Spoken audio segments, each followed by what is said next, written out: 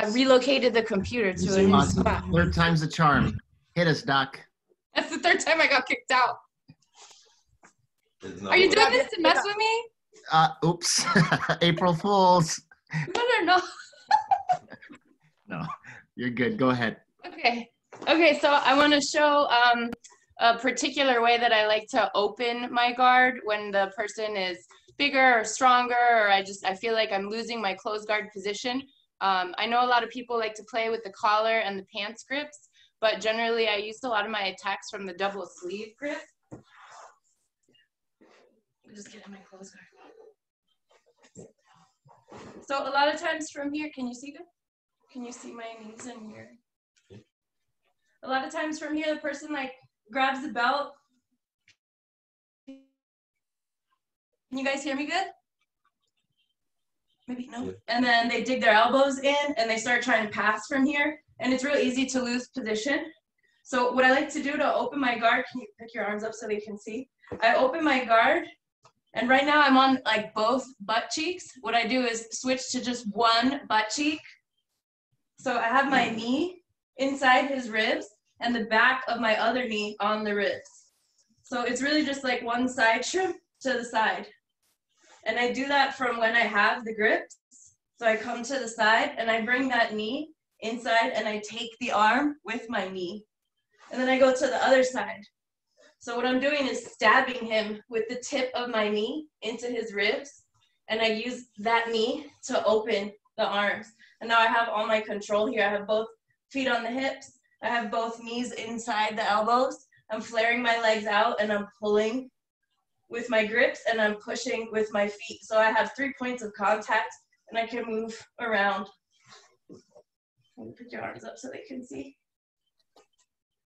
So I turn myself to the side. I use the point of my knee into the ribs and then I dig to take the arm. So even if the person puts their elbows in, I take it with my knee. This is a really strong position from here. Can we see if somebody has a question about that That was beautiful. If you could just do me a favor, if possible, can you guys give us a side view? from a side view?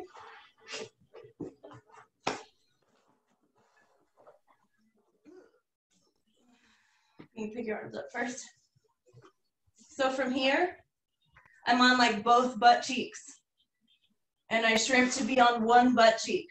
So I've got the point of one knee and the back of the other knee on the ribs. I'm still putting some pressure here. So I'm not being lazy with either leg. But I started from, from square with both butt cheeks on the floor, and I moved to just one side. The knee that's poking into the ribs is the one that's gonna dig and take that arm. So when they start burying their elbows, trying to put pressure and open their guard, it come sideways, and I take it with my knee. I can even do it without my hands. Put your elbows in. I can get my knee in there. So I don't need the strength of my arm against their arm. I use my leg against their arm, so my leg should be stronger.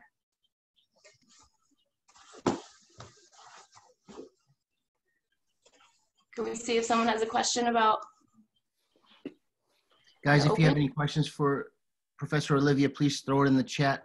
But I just wanted to highlight that's such an amazing little detail that I haven't really gone over yet.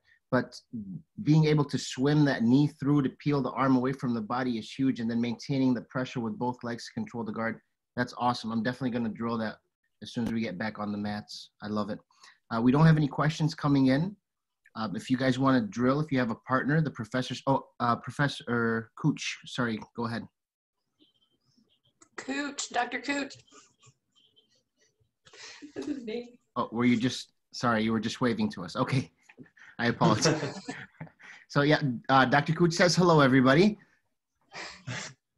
All right, so Olivia, sorry, you could uh, go I ahead do, and, I do have a question, if you can hear me. Um, yes. Do you have like favorite setups? Do you go lasso? Do you go spider from there? Do you use your feet on the hips to like create space and reset? Or what are some of the things you like to do once you have that that space back inside? Or is that just really to make sure you're the one that opens the guard and they are not opening your guard?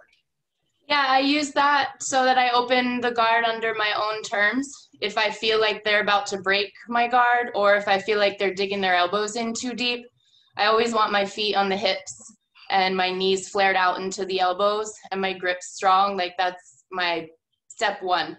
And then I see where I'm going to go from there. It depends on what they're doing with their base, if they're sitting low or high, if they start trying to stand up, or if they want to put a knee in my butt in the middle or post out to the side. Um, then I would switch to different positions from there. Um, tonight I wanted to show some triangle details and variations from there from when they just post one one leg up. So typically when they stand up, it's one foot first. Awesome. So I, I'm already attacking before they even get the second foot up. Beautiful. Before we go to the triangle, Paula is asking if you could just show us one more time, please. Yeah, sure. Um, from you think from the side would be better? Yeah. Yeah, if you don't mind, the one, one more time, the side view would be great. So I think for visual purposes, it's easier if his arms are not in the way. So right now, when my guard is closed, it's the back of my knees that are on his ribs, kind of like the side and the back of the knee. So whichever knee I'm gonna dig first, I shrimp to the other butt cheek and I poke that knee into the ribs. And then I dig up with that knee and I take the arm with it. So if I'm squared up and I shrimp sideways, I bring that knee in and under and use that to take the arm. So even if that elbow is real deep in there, there's just this little space in here. I just need the tip of my knee in there. And I can almost always get my knee underneath the elbow, even when they're big and their knee is, their elbow is deep, I can get my knee in there and flare it out. And then I'll switch to the other side, bring the knee in. So this is my first spot. Um, ideally, I want both feet on the hips. If I'm just gonna like see what their reaction is. But if I just have one foot on the hip, then I can start looking for a spider hook. I can switch to the other hip and look for a lasso. And that's because he hasn't even posted a knee or tried to stand up or anything. But so this will be my base. I want both feet on the hip so I can push away. I can pull in. I can flare out. I can move him a lot just by playing with all the angles and control here.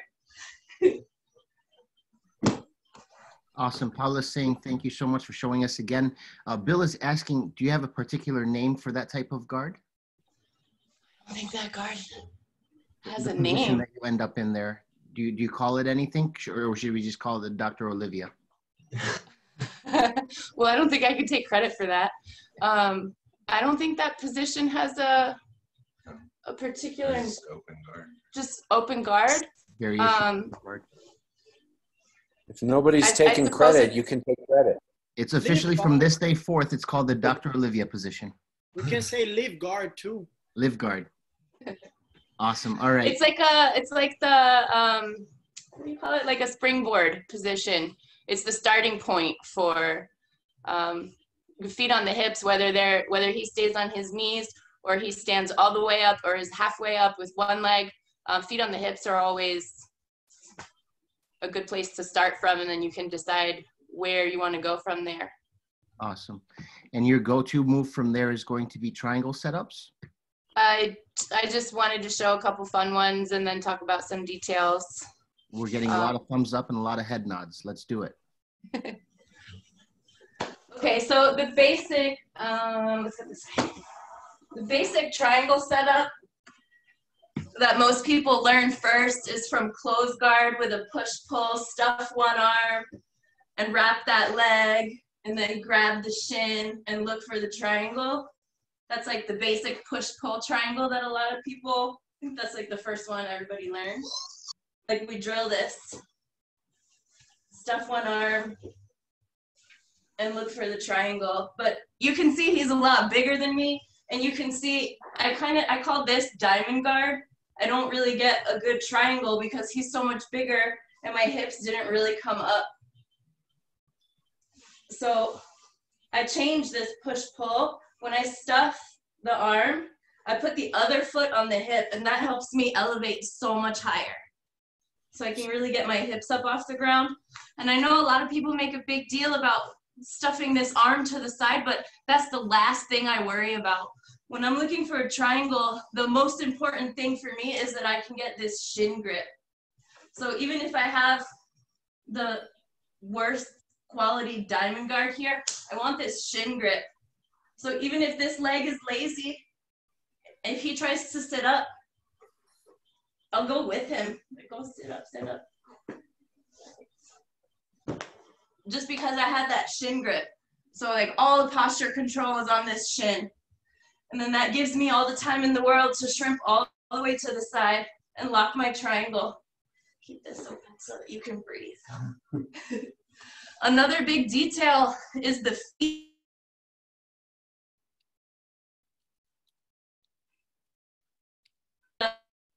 Pressure. Focusing on this and their I hope she's just freezing and not holding Chris in that choke that long. Oh, he's gonna die for that. for Oh, sure. boy. We'll Finish the chat. Uh, while we're on this commercial break, guys, I'd like to point out Professor Tom's uh, background of Bob Marley. You guys can enjoy that while Olivia logs back on.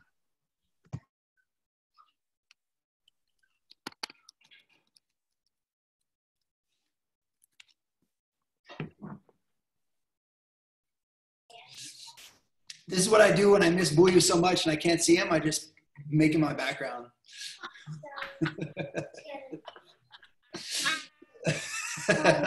Oh Lord.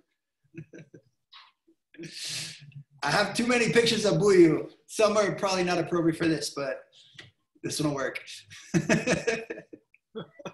You see, Laura. Well, since Olivia is frozen right now, we can talk a little bit.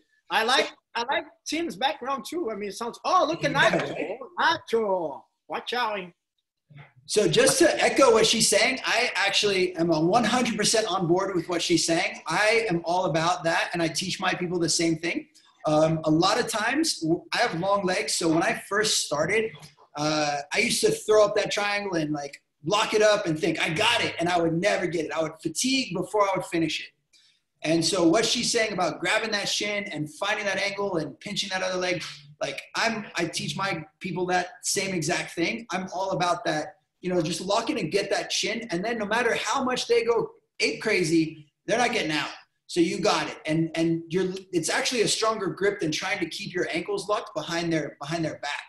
Uh, so in that frozen picture she's doing, you see her the leg that's free that she doesn't have a hold of. Um, that leg I keep tight and pinched so that they can't take that arm out and back. Uh, so that position, I, I'm 100% on board with what she's saying. I, I love that that position. I found, bro, if I if I rush too fast to go right into the triangle and I don't stop at that position, they they're able to pass my guard a lot easier. Uh, Or 100%. That's why I have trust issues. Oh, she's back. She's back. Or. Dr. Olivia, I'm we were so I'm sorry. we were I don't so know what's concerned. We thought you were holding Chris in that position this long. We're like, oh man. I don't want to kill him. internet felt He's certainly dead by now.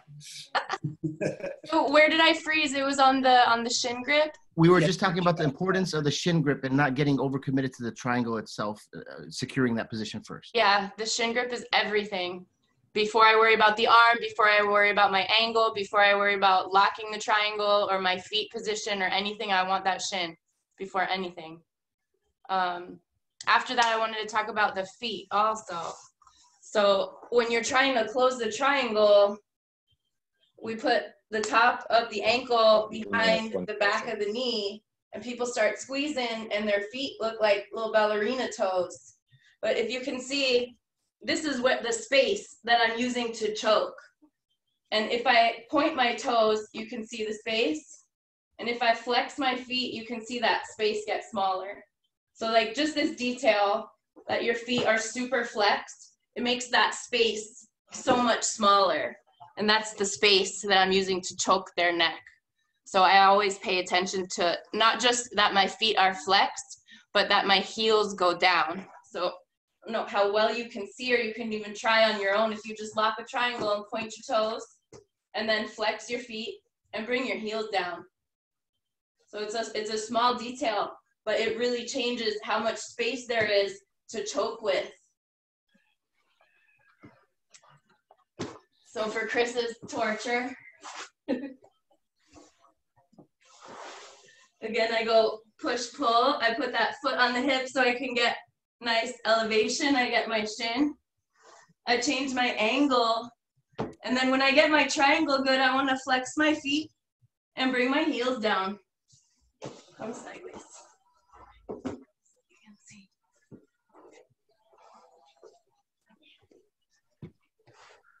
So again, when I go for the push pull, I put a foot on the hip so I could use that to elevate and get my shin. I change my angle, and when I lock the triangle, I want my feet flexed, never pointed, flexed. And then I bring my heels down. This detail. He's turning red and I'm gonna kill him. Does anybody have a question about that part before we do a fun one? Mm. Looks like we're good to go on that one. It, it- not just smaller space, but I have a question. oh, sorry, Cooch. Is that Cooch? Um, yeah, I'd like uh, just uh, just a tiny clarification with what Tom had said with you, Olivia. Controlling the shin, I understand that part, but you made a comment how if you lose the free arm a little, it's not so important because you can go up with them. And Tom talked about pinning that arm. I, I sometimes have trouble. Uh, I think maintaining the um, knee pinch on that arm. Can you The clarify that? Do you feel like they're they're Yes. slipping the arm Yeah. back out? No, no, that the using the outside. So you've got your. Thank you. You've got your hand on the shin in a good spot. Their arm is in good, and the head is in. The free leg, be not rushing, throwing the triangle, but making sure you get control there. And whether that free arm that's not trapped, how important is that? I really don't find that that arm to be important at all. Um, I start. Okay. I I I focus on locking the details of the triangle. I always want that shin grip first to control posture, and then if Mhm. for whatever reason my triangle is not choking well to finish, then I start attacking the arm inside. So again, it doesn't matter to me if the arm like they teach us to lock the triangle and then wrap the arm to the other side and then pull down on the head and squeeze. So a, a lot of people put priority on putting that arm to the other side and feel like the triangle is not complete if the arm is not brought over to the other Yeah. side. But it really doesn't. To me, So, the Olivia- position of the arm doesn't matter. if you can hear me, this is this is what uh, he's talking about. So you're talking about here, and I have the head and this arm inside, and you're grabbing the shin to keep it tight. His his issue is that he loses this arm and it comes out, right? So I I was I'm all about exactly what you say. I'm all about this, and I don't worry about bringing it across or anything like that either. I don't I don't really care as long as I have this and I get my angle right? Then I and I can keep this pitch so this arm doesn't come out and escape. And I think that's what he's talking about. He loses that that arm that's also stuck inside there, and not necessarily like worrying about putting it across, but just that it comes Just out. keeping it. Yeah. Well, are you locking diamond guard before you lock? You try to get your shin grip and lock your triangle. Like what? What guard position did I you have? guess before sometimes I feel like if I feel like if I get to diamond guard, I've I sort of that shows me that I missed what I was trying to do. So, Right. so Cooch, maybe because of his name or whatever it is, is that he he tends to pretend like he's giving birth rather than pinch and tight. right? So he has this, and this knee is just kind of flopping open, like, you know. We're breaking arms. So the idea is pinching that second leg. That's Ah. that's his challenge. yeah. Do you do you feel like you're getting the shin grip before you start Yes. losing that other arm? Like you have the shin and you're still losing the other arm? That means you're Yes. just being lazy with that second leg and yeah, you're opening your hip too much and you need to just keep it close. I don't I don't feel like I've ever had that problem. If I get diamond guard to me is the beginning. If I can hit diamond guard, I can lock a triangle. Or I can switch to omoplata on the other side every time. Um, Okay. maybe just just really try to focus on keeping that second leg. Maybe you're so focused on getting your shin grip that you're forgetting about that other leg. I think that's probably true. Awesome. Thank you. I'll- I'm going to remember that escape next time I roll with you, Cooch. So it well, sounds now like I know how it sounds like everybody's not concurring.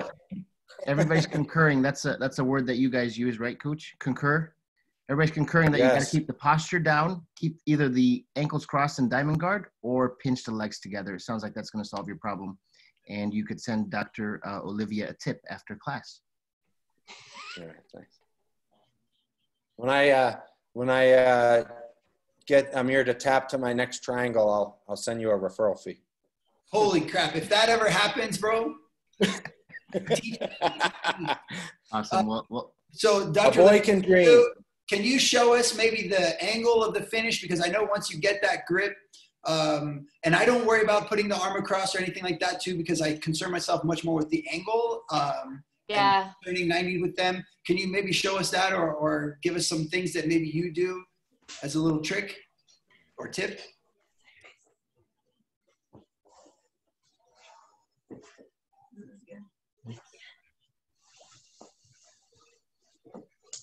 So I lock my diamond guard. I got my shin. And then I like to come back to the hip, but I maybe this is what coach is doing. He's flaring his knee out.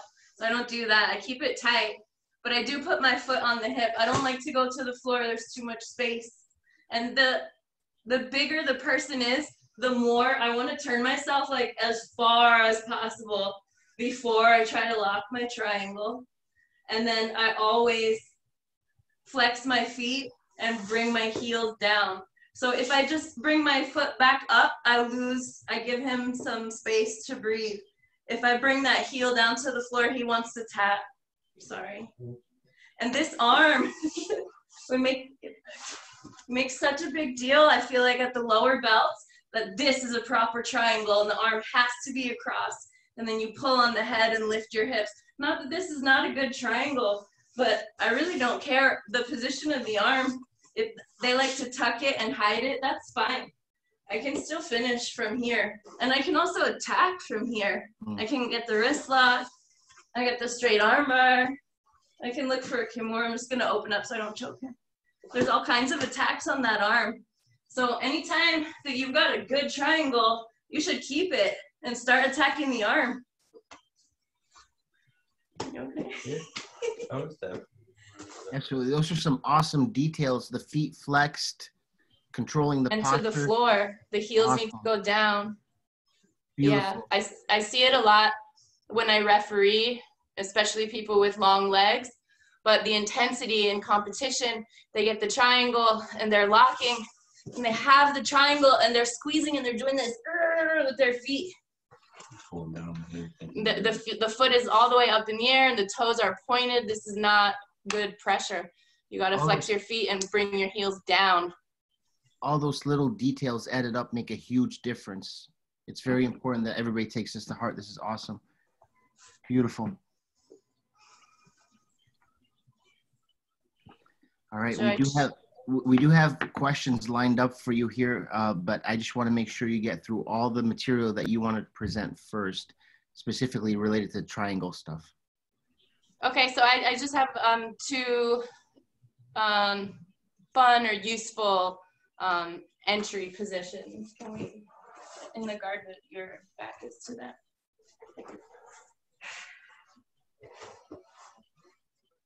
So from a closed guard position on someone who is stalling, possibly bigger or heavier, maybe up on points, and they're just they're just stalling. They're sitting on their butt. They don't want to move. It's really hard to move them, and I need to make something happen. I do that by forcing them to change their base by using one of my feet to hook theirs and move the foot out. Similar to what um, that Australian guy, Tom, he was showing about how you take the foot and you move it to the side and it changes the position of the knee. Can you, can you see his feet?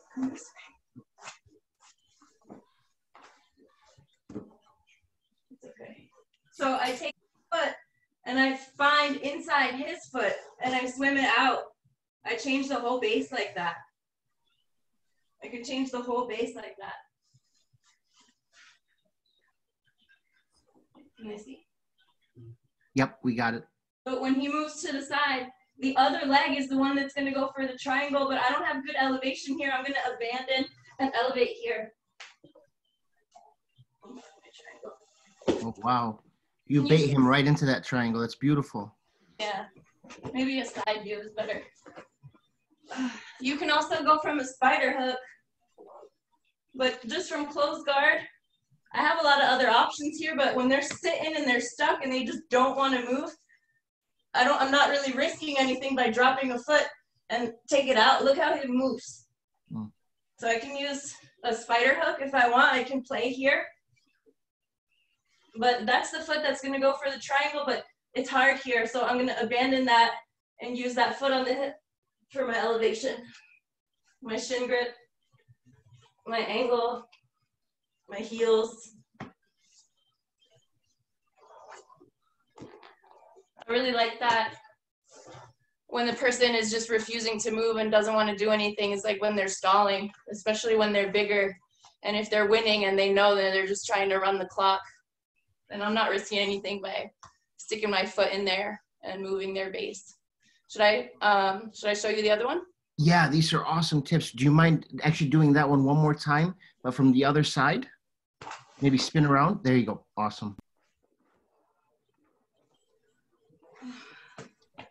So honestly, I work this one more. If I'm going for the triangle, I started with a spider hook. Uh, but I swim my foot and I take their base. And if I can get a spider hook, like I got all kinds of stuff here, I can let go and look for the tri- they'll fall right into it.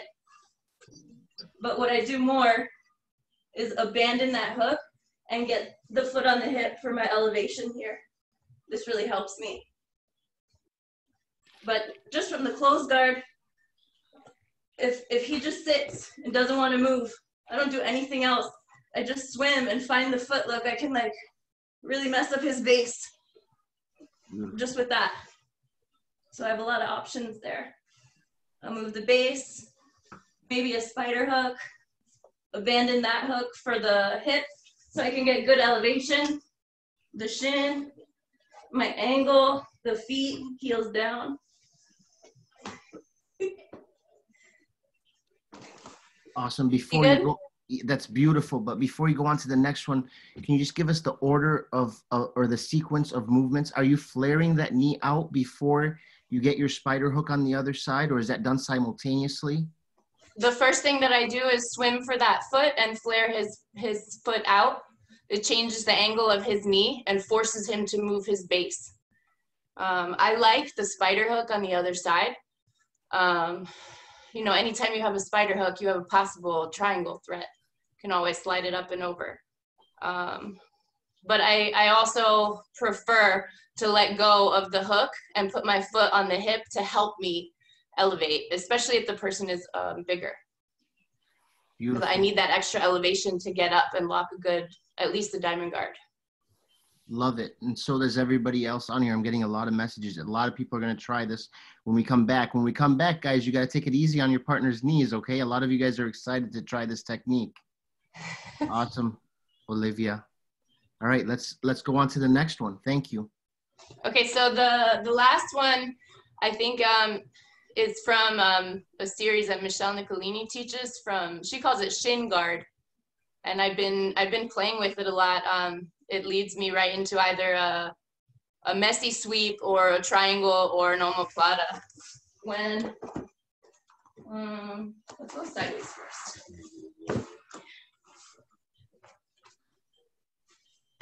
Ready? So say I open my guard and the person starts to stand up. Whichever leg they post, I want my shin in front of their shin. Can you see? And then I go for a spider on the opposite side. So if I if I let go the spider in my grips and I just try to kick this leg, it's almost impossible to pick up that leg because they're so heavy. But if I use the spider in my grips to stretch him a little to the other side, then I can pick this up. So if I stretch the spider the wrong way, I won't be now he's sitting on that leg. This is too heavy. But if I stretch him just the opposite way, just a little bit. Now I can pick this up and I can play with his base here. So if you want to drill this, you want an opposite side spider hook, then the side of the leg that's posted. You want to stretch the spider away from that side. You should feel it super light. You can pick this up. I could just throw him that way, except there's a TV there right now, so I'm not to do that. but what I really like to do, I catch them off guard. I kick this out and I let my spider slide for the triangle at the same time and they fall on me. Then I lock for my shin and look for my triangle. I catch them off guard a lot. They're looking to, so they're looking to stand up. I catch that shin and I just kick it. They fall right into my triangle. It's usually a super messy diamond guard. I get my shin and I clean it up. Let the, the fire department drive by real quick. Can y'all hear the fire trucks? oh no. Are we frozen? You can hear me? I can't hear. Yeah, we got you. We got Okay, you. Okay, okay. You're awesome. No, I love these techniques. It seems like the, the, the opponent is just falling right into your triangle with this technique, the last technique. Uh, before we move on and we go over this technique one more time, can you please uh, answer this question for me? They're asking if pulling on the foot the way you did during the last technique would be considered a knee reap. No, the definition of the knee reap requires two things. And one of them is that the foot is trapped or the person is standing on the foot, which is not the case in that situation. Therefore, it could not possibly be a knee reap. But if you read the IBJJF rulebook about how a knee reap is defined, it's the position of my leg with respect to his leg based on my shin and his knee. And then the second requirement is that his foot is trapped, which specifically is worded to include if the person is standing on their foot, it's considered. Oh, excuse me, it's considered trapped. Well, you're like a referee encyclopedia. That's awesome. You just fire that out. So as I've long as his leg is free, as long as his leg is free to limp leg out or escape, it's not considered a knee reap. If the foot is free, there is no reap. Awesome. This is why you see people thinking that someone is reaping the knee because they are reaping the knee, but the foot is free. And then they reach for a foot lock, and then the ref calls the DQ because it wasn't reaping until you touch the foot. Awesome. Great. Thanks for clarifying that. Now, back to the, the technique that you just did, where you're getting requests if you could do that with your head towards the camera. Yeah, sure.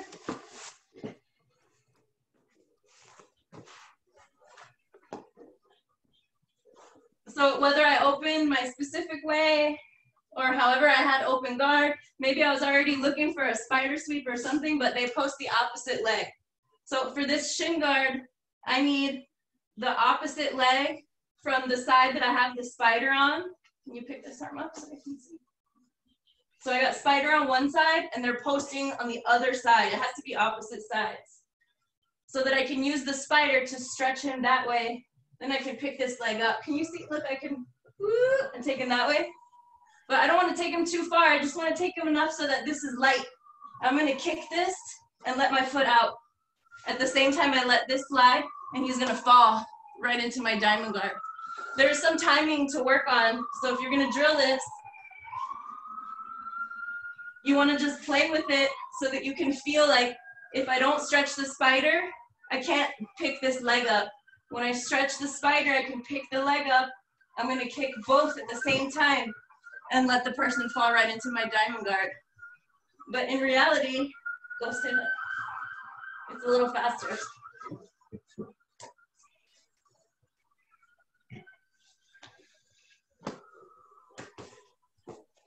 You see good? Awesome.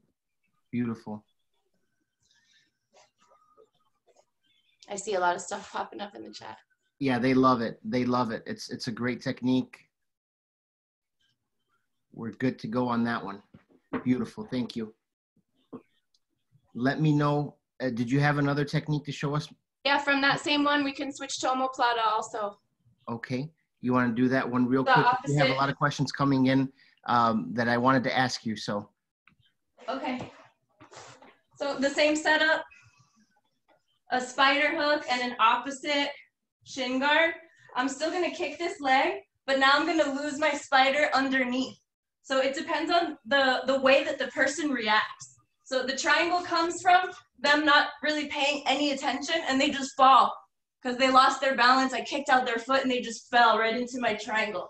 But when they feel me pick up this leg, a lot of times they try to counterbalance by moving that way. So then I can come under and there's an omoplata here. When I go for the omoplata, a lot of people always, they want to turn and lock the triangle like immediately. But again, the same way, like when I'm looking for the triangle, I don't, I want the diamond guard first, then I want my shin, then I adjust everything. So if he goes to move that way to counter, I'm looking for the omoplata. I want to hammer down here. I come over the head. I lock here first. And then I'll look for the belt so that he can't step over me. And then I can come sideways. I don't even usually ever lock all the way here. I just come straight sideways. And then the technique, the way that I teach it to the, the lower belts in my women's class to finish is to tell them a secret. I'm gonna whisper in his ear a secret, and the secret is you should tap. That's the secret. That's the secret. Awesome. That's that's awesome. Now, can you, can you tell us why are you biting down on the head before you get sideways to him when you're grabbing for that belt? What does that do? I don't want to go all the way. I like to be like highly more technical in the in the the steps of progression from the beginning of the attack to completion of the position that that I'm looking for. Um, so I clamp down on the back and then I use the other leg over the head, all to control their posture. So we know if we're attacking an omoplata and they posture up, we can counter with a triangle, but I've lost my position.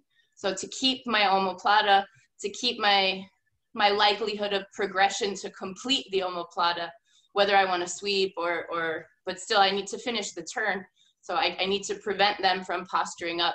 So I do that by using both legs on the back of their head.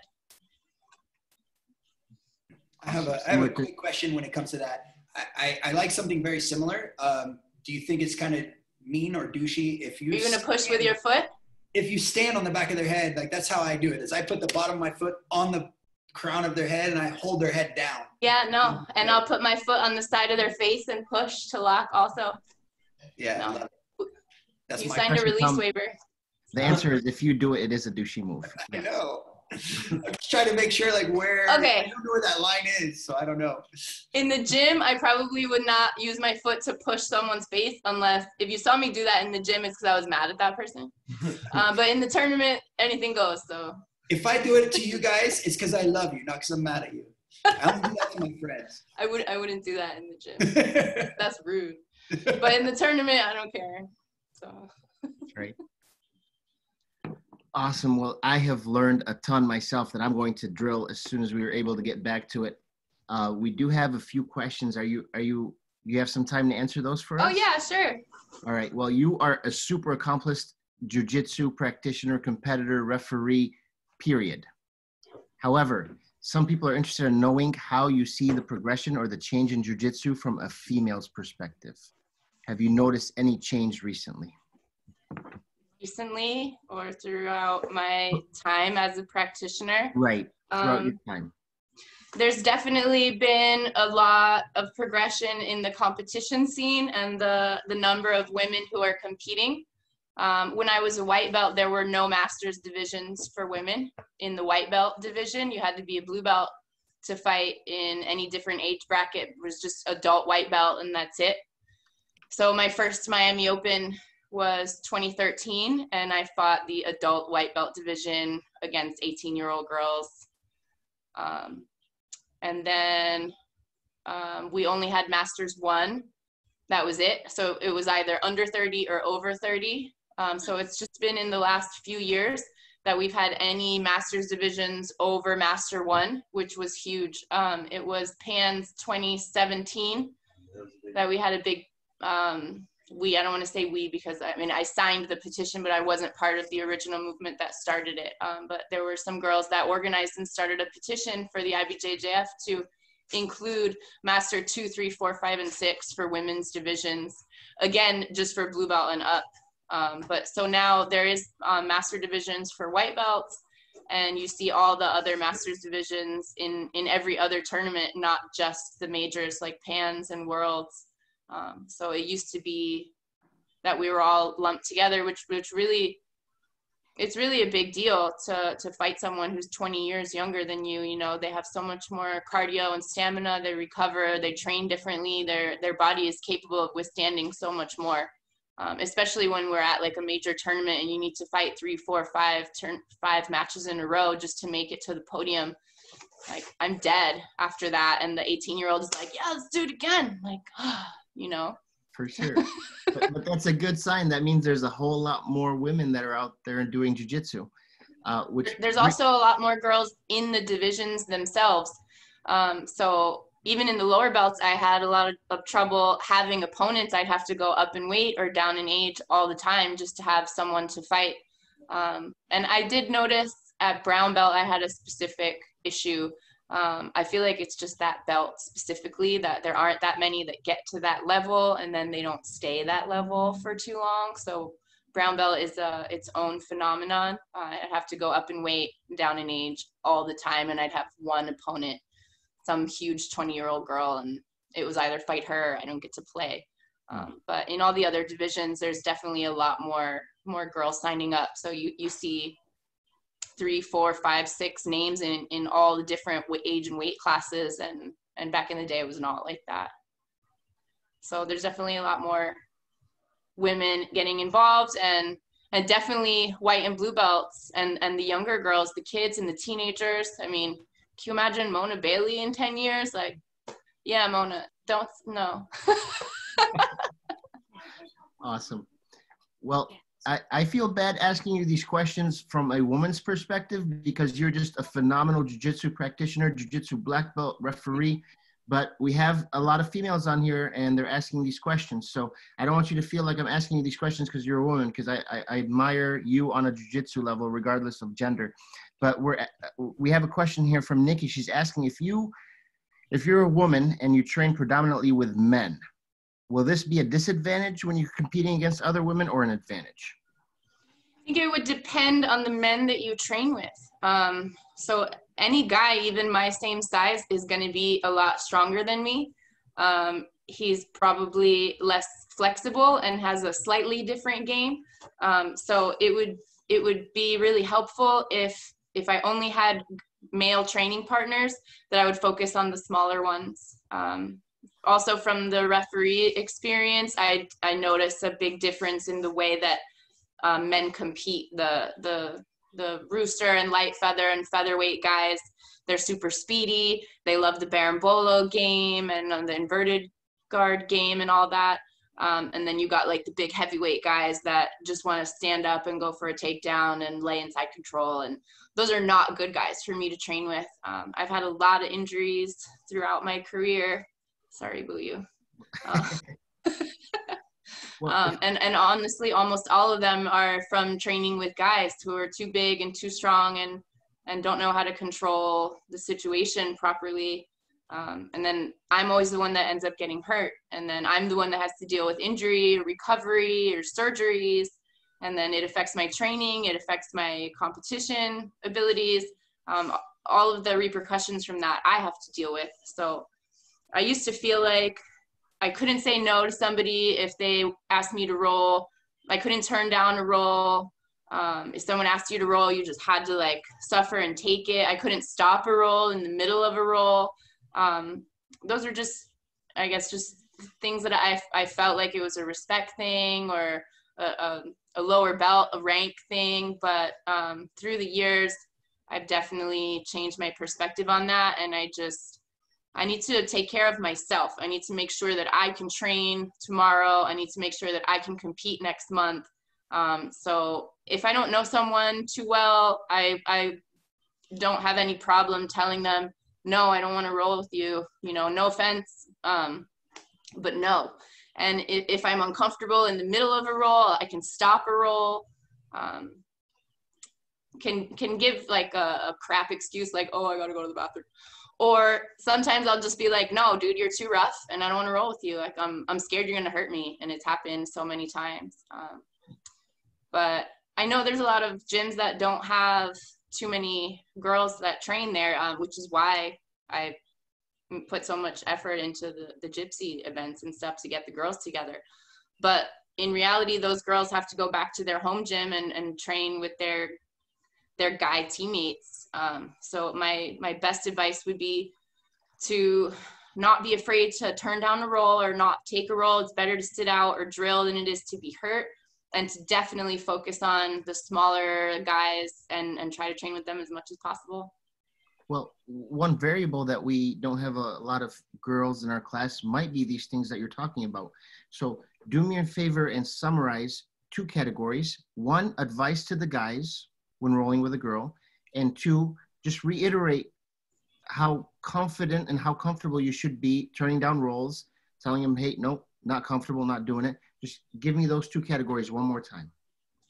Well, for the girls, um, there there's there's no disrespect and there's no shame in turning down a role or stopping a role. It's your body, and you need to take care of yourself.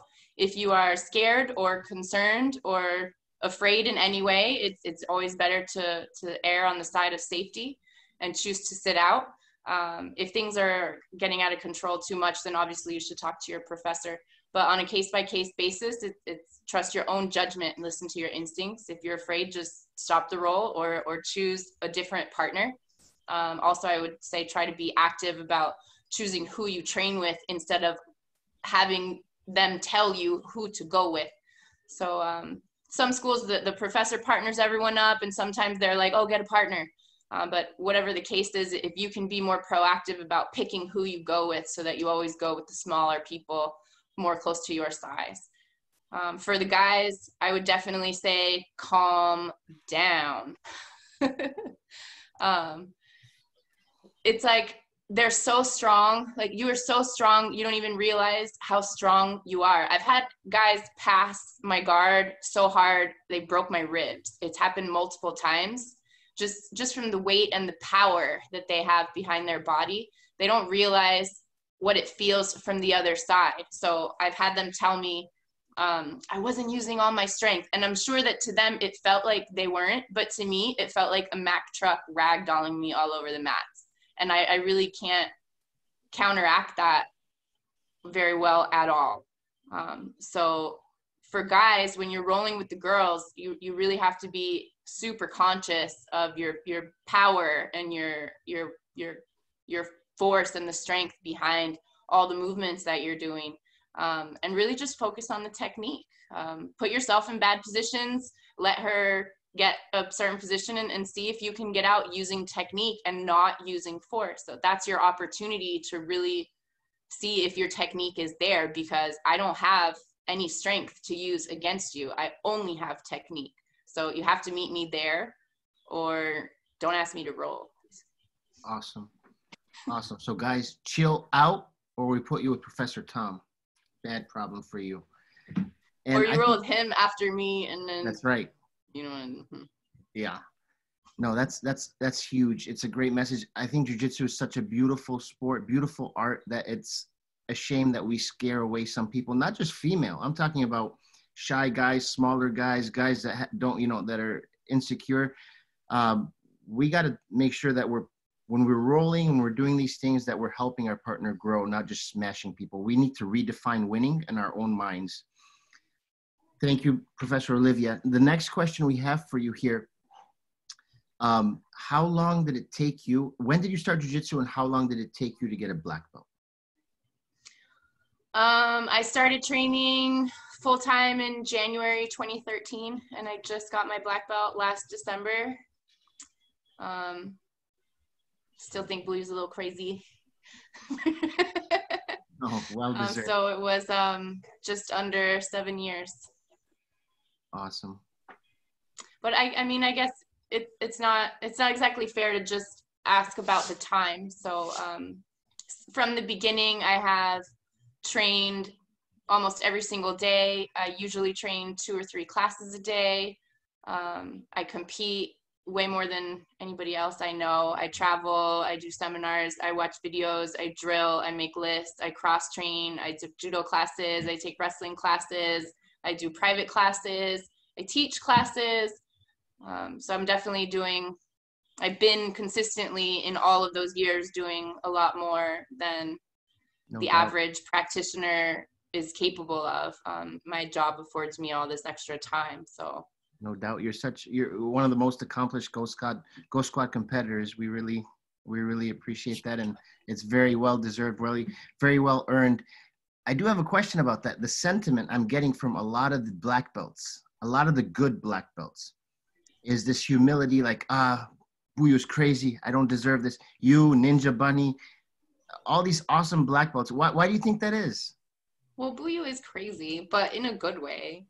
I just, I don't know. I mean, I, I, I felt some type of way about my brown belt also, but the black belt just comes with like a, a certain stigma I've noticed. And we- we've been traveling and we, we visit other schools and it's just different. People, people respect it more. And I feel like I need to, I need to represent even more than I already would have. Um, so I'm wearing this belt and I'm wearing Buiu's patch and it needs to be needs to be on point. So Well, Well, like the bar are is all the way up there and I need to meet it and I feel like I don't I don't I don't know how to explain it. I just Professor, I think Olivia carries a little bit. That was, I'm- I mean, I, I'm speechless, Olivia. I'm not, I, I'm very suspicious to talk about you. But uh, overall speaking, it, it falls a little bit what Olivia said, what Professor Rodrigo Medeiros did on Tuesday.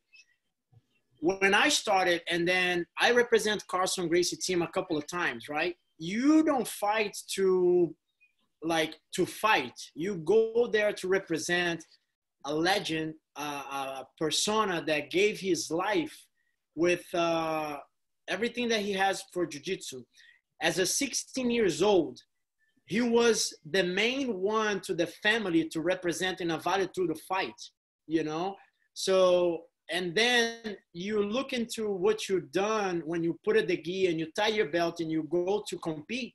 So of course, like for the people that like to compete, and I always I say it's not for everybody. It's not meant to be for everybody. And if you do as an obligation, don't do it. Do it to have fun and to enjoy, right? I see myself in that way too. You know, when I step on the mats, I'm gonna give my 100%. If the guy has to to tap me out, he literally have to chase that tap because I won't give up. So yes, I'm fighting for my own way of to think to be able to beat that guy but i fight for every single one of you guys as well you know like that i represent every single one of you guys as well. So i think she cares a little bit of that uh in her words you know like go there and represent you know and put everything in aside and go there to fight. Don't you don't i believe everybody on this chat they fight every day right? Uh, if you fight with the gi, you go there, you train on the mats, you you're fighting. What's the difference, you know? And I definitely second what she said, you know. And we're not training just adults; we're training kids, we're training teens, people that are super shy, like Professor Amir said. You know, that that's a big accomplishment, you know. And uh, just for the note, thank you again, Chris, to be able to do this drill with Olivia and get choked out. You're very fortunate that you guys have a partner, a training partner to to at least like you know train and and doing that. You know, thank you once again. thanks for having me. I was really happy when you asked me. Awesome. Well, we all enjoyed it, learned a ton. Uh, one more question, if you don't mind. It's, it's been coming over here. Do you feel it's kind of related to what you just talked about? Do you feel that people come at you a little bit harder when because you're a black belt, especially when you travel, since you travel a lot? Oh yeah, the the higher the belt, the harder they come. Um, particularly being small and being a woman, and then being a visitor. Um, so I think it's like a, a big mixture of um, I'm visiting, so they don't want to go too easy, and also I'm visiting, so they need to like put on a good show and represent their own gym well. Um, and then also there's some ego behind it. Um, I always get the girls because I'm a woman. They always want to train with me, um, but the, it's it's different. I don't. I, I I I perceive it different when the the girls ask me to roll. I think it's just because it's a, a higher belt girl, and I definitely get it from the lower belts. I've had a lot of them tell me like I'm the first female black belt that they've met or got to train with. Um, but then you get like the random guys who come up like, "Hey, you want to roll?" I'm like, why are you picking me? Like, I'm the smallest chick in the room. Like, why are you picking me? Really? Like, I'm not dumb. Right. No, that's awesome that you're there to be a role model for those girls. And I promise you, this is the last question. I won't ask you anymore. But this is coming no, it's fine. It's fine. Times, four times. Since you've had so much competition experience, they want to know how do you deal with pre-competition jitters? That is the reason why I competed so much. Um, my very first tournament was just one match at white belt. It was the Florida State Championships. The match was over in less than two minutes. Um, not to brag, but I, I dominated the whole match and I, I did win um, the match in my division. Um, and I had those anxiety butterflies for a good three, four days after the tournament. Like, okay, the fight's over. You can calm down now. It's been days already. And I just kept getting like those rushes of um, the butterflies and, and I couldn't control my mind and it, and it really bothered me. And um, I don't like not having control of what's going on inside my my head. So for me, competition is about about mental control. Um, and and I was just like, that's it. I'm gonna I'm gonna do this until I can control it. Um, so the only other time that I, I had an issue was when I had my shoulder surgery and I was out for a while, and then I had to come back. So I'm wondering how this pandemic is gonna affect it all. Um, so normally I compete so often that competing is just it's just another day. It's just another tournament. There's Pans next year. There's Euros next month. There's there's always another tournament. There's always another major around the corner. It never stops.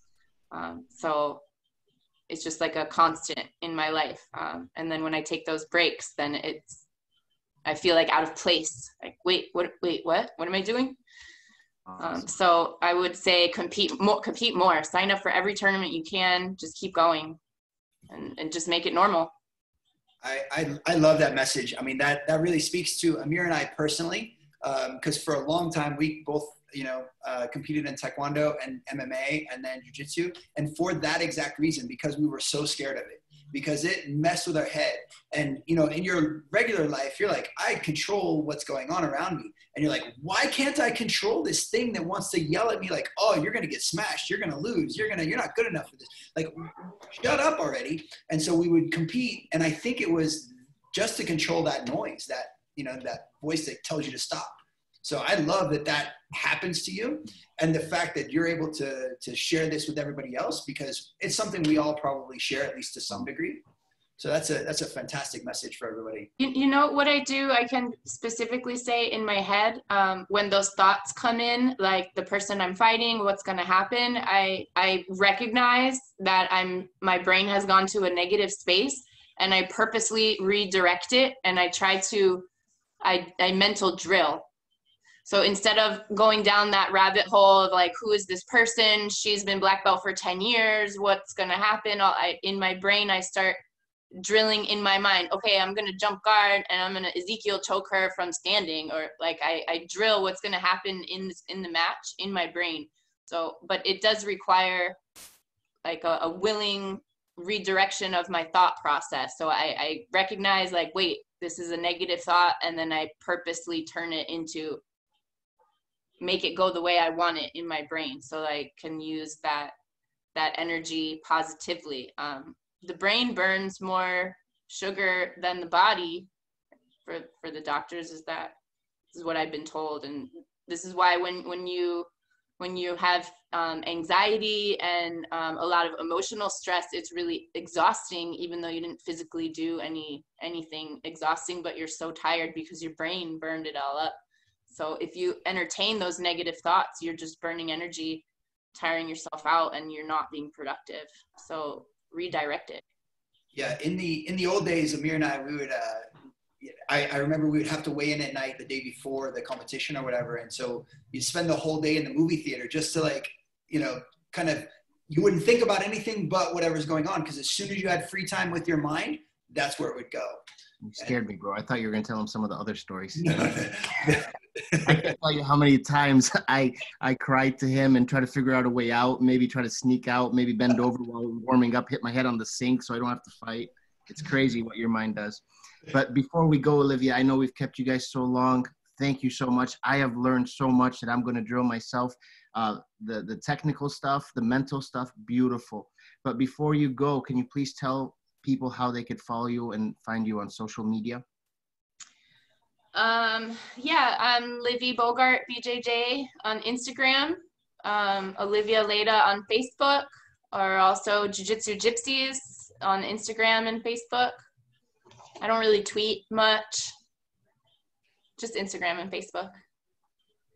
Awesome. Awesome. Thank you so much. I'm going to turn it over to Professor Buiu. He's going to sign us out here. Thank you. Just want to say thank you everybody that show up, that stay here. You know, like uh, every Tuesdays and Thursdays. Uh, I know it's a big effort for a lot of people. You know, uh, show up in our meetings. Uh, thank you very much. Uh, it's important that we get together at least so we can, you know, share some thoughts, some laughs, you know. But the end of the day, like this is our community that we are building, and like she said about Mona, the the the girl that trains jujitsu. Imagine her like in ten years, you know, like she's gonna be amazing, phenomenal, you know. And I hopefully God can give me like a healthy to see not just her, but see all the girls training, all the guys training healthy, because that's what I wish to everyone, you know. I wish for you guys when I wish to myself, you know. I don't wish no harm to nobody else. I just wish like everybody has great time, great uh, doing your hobbies, whatever you guys like it. Um, I'm totally supportive for all my students' uh, activities. Uh, has the gypsy. Uh, one of my gis, not this one because it's washing, has the patch. You know, I always make sure I'm proud to wear Tom's. Um, my students, you know, and that's how it is. I'm not telling you to guys do what I do, but uh, I yes, that patch I have it. um, I don't tell you guys to do what I do. I just do because that's the way. That's the right way. You know, you have to do what is right. Even people tell, "Oh no, this and that." No, no, no. You got to do what's right. You know. So thank you very much for everybody that's here. Thank you, guys. Thank you, Olivia. Take care. Love you guys. Fantastic class, Olivia. Thank you so much. Thank you.